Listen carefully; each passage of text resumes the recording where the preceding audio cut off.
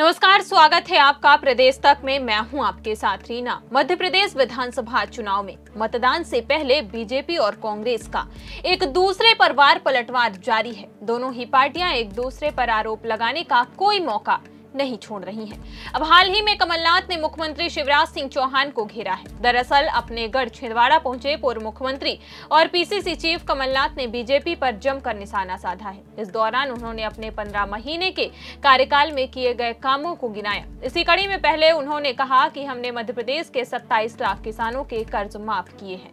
छिंदवाड़ा में PCC chief Kamal Nath ने कहा, पहली किस्त में छिंदवाड़ा के पचहत्तर हज़ार किसानों का कर्जा माफ़ किया था, जिससे किसानों को कुछ मजबूती बनी।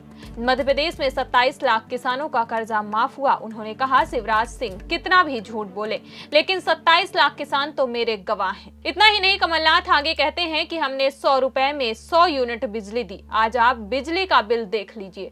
उन्होंने कहा, मैंने कौन सा पाप किया जो एक हज़ार गौशाला बनाए? कौन सी गलती की जो मैंने पेंशन बढ़ाई? ये सब आपके सामने है। पहली किश्त में छिंदवाड़ा के पचहत्तर हज़ार किसानों का कर्जा माफ़ हुआ। किसानों की कुछ मजबूती बनी। मध्य प्रदेश में 27 लाख किसानों का कर्जा माफ़ हुआ। शिवराज सिंह जितना भी झूठ बोल लें पर 27 लाख किसान तो मेरे गवाह हैं।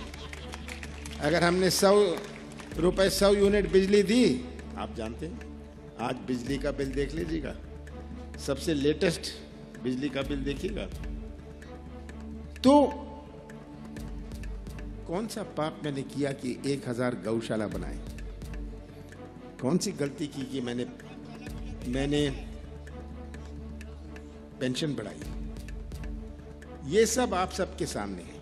हालाँकि कांग्रेस लगातार जनता के लिए चुनावी घोषणाएँ कर रही है। हाल ही में प्रियंका गांधी ने अपने संबोधन में कहा कि हम मध्य प्रदेश में बहनों को 1500 की सम्मान राशि देने का काम करेंगे। साथ ही गेहूँ के लिए 2600 समर्थन मूल्य और धान के लिए 2500 रुपए समर्थन मूल्य किसानों को देंगे। इनके अलावा कांग्रेस ने ऐसी कई और घोषणाएँ की है। फ़िलहाल इस खबर में बस इतना ही। जल्द फिर मिलेंगे कुछ और खबरों के साथ।